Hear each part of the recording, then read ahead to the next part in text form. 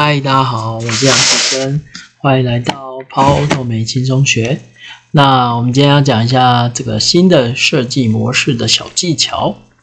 好，就打小技巧。OK，我们用手动触发好了。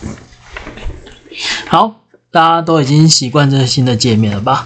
好，先讲啊，切成旧的就按右上角这个就可以切到旧的。好，这是第一个小技巧。好，那再切回新的，一样就切回去就可以了。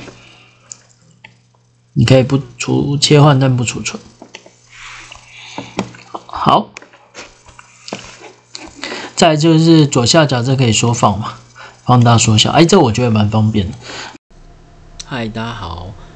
之后我会开 Power Automate 的线上工作坊，让之前无法到场参加的人报名参加哦。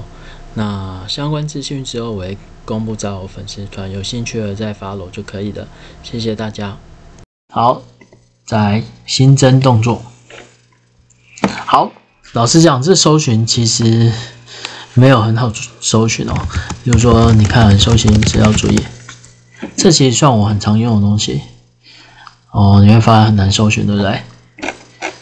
找不到，对不对？好，那跟大家讲第一个小技巧。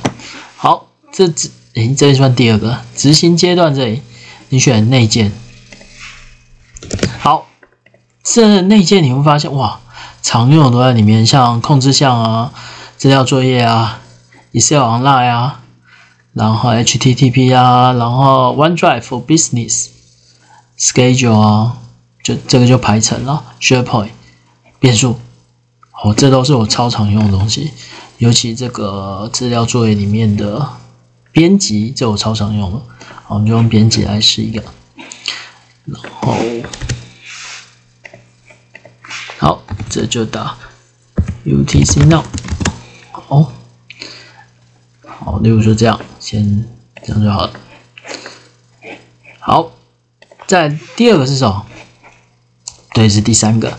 我们复制怎么复制？按右键就可以复制动作哦。这其实也蛮常用的。那要贴上怎么办？你现在按这个新增，它就有贴上动作哦。OK，直接就贴上。那我们再改一下。好，这是 MM 好了。OK，来，那这边还有很多东西，例如说设定啊。这边有一个东西，我也觉得很常用，就是你这个编辑执编辑打开，你会发现这个执行后，诶，这叫什么？这是错误。平常是成功的时候才执行啊。那你现在可以勾一遇时、一跳过或是错误的时候都执行。那通常排除错的时候会把这个，就当前面一个动作失败的时候，你可以设定这个。那现在多了颜色哦。以前是一个虚线了，现在有没有三个橘色、灰色跟红色？OK，所以你可以这样做。好，那这个怎么弄呢？正常来讲，这边出错就可以了。好，好，这样这样应该就会错。来，哦，对，哦，它现在变聪明了。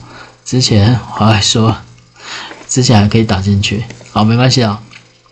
那我们先储存。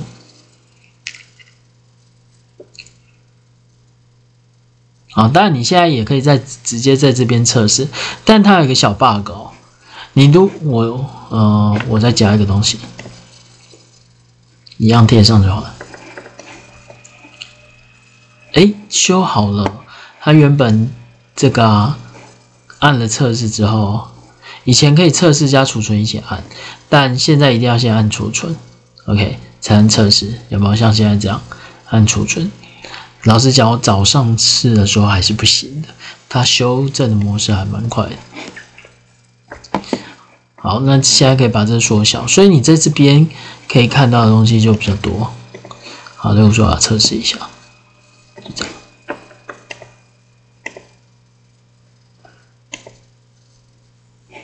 你会发现，只有到第二个才会执行，直到第二个。为什么？因为这个编辑 copy 之后，在跳过错误看到的时候，才会执行。OK，好，所以大家可以参考一下啊。还有什么小技巧？来，OK，那我们在这下面删掉了，删掉，这里删掉。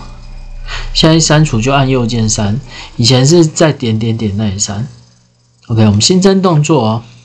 那我现在搜寻其他的怎么办？其实有很多是在标准里面，标准像 Office 相关很多都在小标准里面，你可以搜寻 Outlook，它其实就都在标准里面。好，啊，那像 Word 这种，Word 其实是在进阶里面。进阶 Word，不过在蛮下面的。不过我觉得现在有个缺点哦，就是，嗯，我找一下 Word，当然就是搜寻难搜寻。另外，你看哦，以前这个旧版里面啊，它会显示进阶会有一个钻石，但在新的里面啊。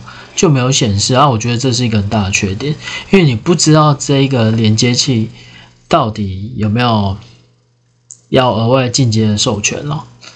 OK，所以这个大家要注意一下。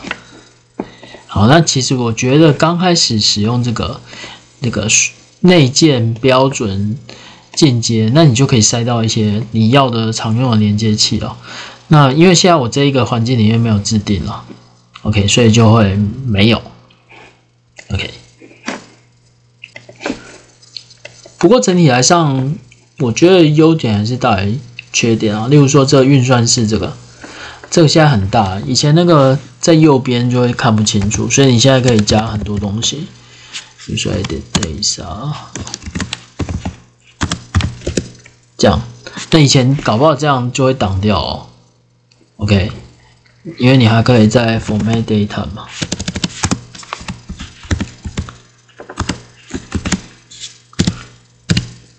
以前像这样就会全部挡住了，所以现在的话这样会比较好。我觉得我比较喜欢喜欢这样子，这样子的的设定。OK，那这城市码你看，你现在也可以在这边直接解析了。好，然后 about，那这就是比较好的地方哦。然后你可以缩小，那新增备注就在上面点点点就可以新增备注哦。测试好，你会发现在右下角这里会有。好，基本上来讲，我觉得这这些小技巧应该都会蛮常用到。好，那我今天没有要讲太多，就这样，谢谢大家哦，拜拜。